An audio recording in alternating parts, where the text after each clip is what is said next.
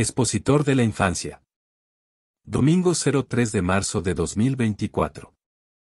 Tema, voluntaria decisión de dedicar nuestra vida a Dios. Lección, número 6 versículos 16 al 21. Comentario, dedicar nuestra vida a Dios es más que un acto religioso, es un compromiso profundo que transforma nuestra perspectiva y orienta nuestras acciones. Esta decisión implica rendirnos ante la soberanía divina y seguir a Jesús con todo nuestro ser. Al presentar nuestros cuerpos como sacrificio vivo, Romanos 12, 1, estamos diciendo a Dios que cada parte de nuestra existencia está disponible para su servicio. Jesús nos insta a negarnos a nosotros mismos y tomar la cruz diariamente, lo que significa renunciar a nuestras propias agendas y seguir sus caminos. Romanos 12 versículo 1, Así que, hermanos, os ruego por las misericordias de Dios, que presentéis vuestros cuerpos en sacrificio vivo, santo, agradable a Dios, que es vuestro culto racional. Lucas 9 versículo 23, y decía a todos, si alguno quiere venir en pos de mí, niéguese a sí mismo, tome su cruz cada día, y sígame. Mateo 16 versículo 24, entonces Jesús dijo a sus discípulos, si alguno quiere venir en pos de mí, niéguese a sí mismo, y tome su cruz, y sígame. Gálatas 2 versículo 20, con Cristo estoy juntamente crucificado, y ya no vivo yo, mas vive Cristo en mí, y lo que ahora vivo en la carne, lo vivo en la fe del Hijo de Dios, el cual me amó y se entregó a sí mismo por mí. Salmo 37 versículo 5, encomienda a Jehová tu camino, confía en él, y él hará. Título. Servicio fiel y agradable. Léase, Salmo 40 versículo 8. Comentario, el servicio fiel y agradable es una manifestación profunda de nuestra relación con Dios.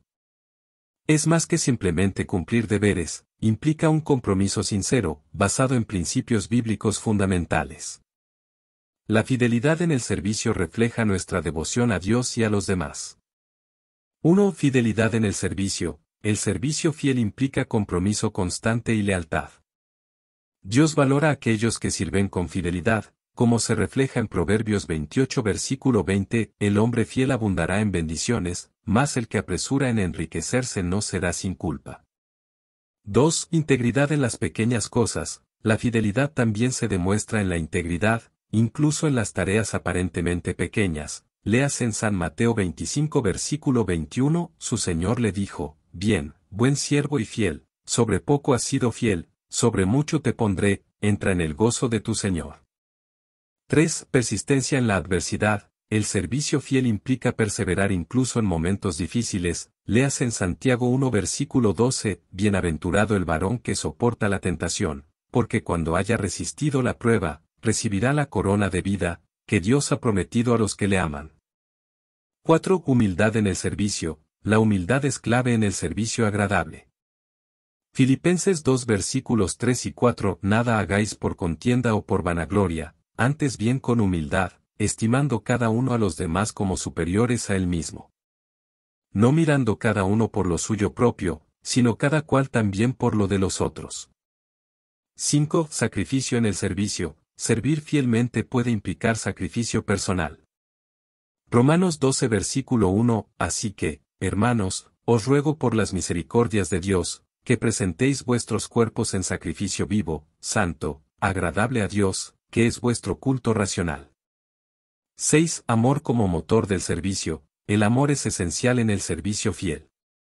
Gálatas 5 versículo 13, porque vosotros, hermanos, a libertad fuisteis llamados, solamente que no uséis la libertad como ocasión para la carne, sino servíos por amor los unos a los otros. 7. Esperanza en la recompensa celestial. Finalmente, la fidelidad en el servicio encuentra su recompensa. Colosenses 3 versículos 23-24 Y todo lo que hagáis, hacedlo de corazón, como para el Señor y no para los hombres, sabiendo que del Señor recibiréis la recompensa de la herencia, porque a Cristo el Señor servís. Texto. ¿Con qué limpiará el joven su camino? Con guardar tu palabra. Salmo 119 versículo 9. Comentario, guardar la palabra implica no solo conocerla, sino aplicar sus principios en la vida diaria. La palabra actúa como una brújula moral y espiritual, orientando al joven en sus elecciones y ayudándolo a evitar los peligros del pecado. Este versículo nos anima a cultivar una vida fundamentada en la verdad de Dios, buscando continuamente su dirección para caminar en pureza y sabiduría. Este breve estudio bíblico no busca reemplazar el estudio que usted realiza, al contrario. Tiene como fin ir servir de ayuda o complemento. Honra y gloria a nuestro Dios. Amén. Dios le bendiga.